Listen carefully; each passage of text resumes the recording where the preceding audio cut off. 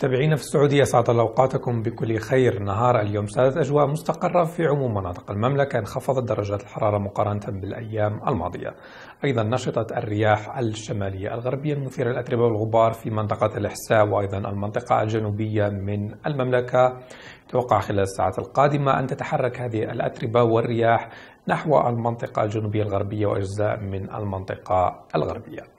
صور الأقمار الصناعية الملتقطة خلال ساعات صباح اليوم توضح خلو عموم مناطق المملكة من الغيوم. باستثناء بعض الغيوم العالية بدون فعالية التي عبرت فوق سواحل شمال ووسط البحر الأحمر وأيضا مناطق من شمال ووسط المملكة في حين سادت أجواء صافية في عموم المناطق. لاحظوا هذه الأتربة المثارة التي رافقت الرياح الشمالية الغربية النشطة خلال ساعات الصباح.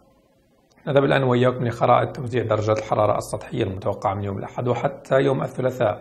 درجات الحرارة تبقى نوعا ما باردة نسبيا في المنطقة الشمالية معتدلة في المنطقة الشرقية والوسطى تبقى حارة في المنطقة الغربية والجنوبية. درجات الحرارة ستبقى على هذا النحو خلال يوم الاثنين لكن اعتبارا من يوم الثلاثاء تعود درجات الحرارة للارتفاع مجددا مع امتداد لمنخفض البحر الأحمر يدفع بكتلة هوائية دافئة وحارة نسبيا نحو عموم مناطق المملكة خلال يوم الثلاثاء تشتد هذه الأجواء الحارة خلال يوم الأربعاء. توقعات الجوية للعاصمة الرياض خلال ساعات أو قبل ذلك. خرائط توزيع الرياح المتوقعة من يوم الأحد وحتى يوم الثلاثاء يوم الأحد هبت رياح شمالية غربية نشطة السرعة عملت على إثارة الأتربة والغبار في عموم المنطقة الشرقية وأجزاء من جنوب المنطقة الوسطى منطقة الإحساء الربع الخالي. تتحرك تدريجيا هذه الرياح والأتربة المثارة باتجاه المنطقة الجنوبية الغربية وأجزاء من المنطقة الغربية. أيضا تنشط الرياح فوق سواحل الخليج العربي. وأيضا فوق سواحل البحر الأحمر تعمل على اضطراب البحر طيلة الأسبوع الحالي بإذن الله.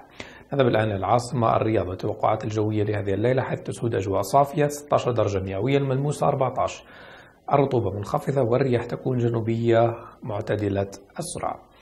بالنسبة للثلاث أيام القادمة يوم الاثنين 28 درجة مئوية إلى 17 درجة مئوية تبدأ ترتفع يوم الثلاثاء لتسجل 31 أما الصغرى 21 أما يوم الأربعاء ترتفع لتسجل 35 درجة مئوية كحرارة العظمى أما الصغرى 24 درجة مئوية. إلى هنا تنتهي نشرتنا للقاء